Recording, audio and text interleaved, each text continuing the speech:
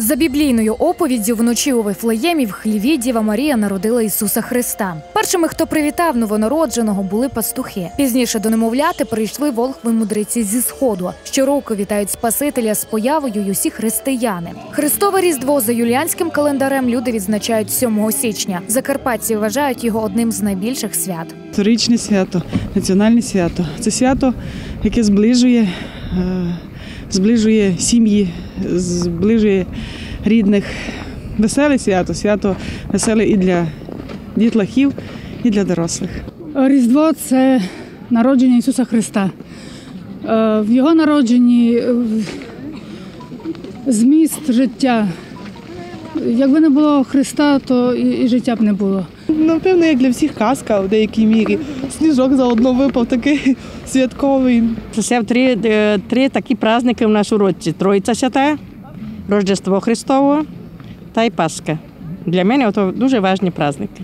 Різдво одне з найбільших релігійних свят. Воно урочисте та радісне, адже народження Христа уособлює диво, добро та світло. На святий вечір готуємо 12 страв, кутю. Е, До першої, е, до сходу першої зірки, ну хто, звісно, може. Це в основному старше покоління. Взагалі не вживають ні воду, ні їжу. Ну такі старі давні традиції. Потім збираємося всією сім'єю, родиною за святковим столом. Звичайно, куштуємо ці страви, весело, колядуємо.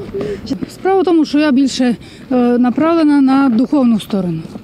Серце очистити, думки, більш наблизитися. От е, так як ми потрапляємо на день народження до когось із рідних, своє день народження, то вся увага імениннику. Не, а, а в наших традиціях якось так пішло, що більше на приготування стола, на їжу, на це і на то. А всю увагу потрібно давати імениннику. Збираємося з родиною, святкуємо, набираємо великий стіл, кличемо всю сім'ю.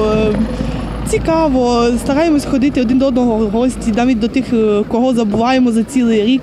Різдво збирає їх усіх, об'єднує. На Різдво завершується 40-денний піст і починаються 12-денні святки. Вони супроводжуються народними гуляннями на честь народження Сина Божого. У слов'ян здавна в ці дні водили вертеп, співали колядки і бажали всім добра на весь рік. Також накривали і в усі часи різдвяний стіл. Щоправда, нинішній дещо відрізняється від тодішнього. Якщо традиційні, да, якщо без, без забаганок, то якщо традиційні, то я думаю, що ні. Картопля, фасоля, кукурудза, пшеничка. Я думаю, що не сильно дорого. Ну, звісно, якщо вже ікра, то вже буде дорого. Ми складуємо цілий рік, щоб у нас були на ці три праздники. Страшно дорого.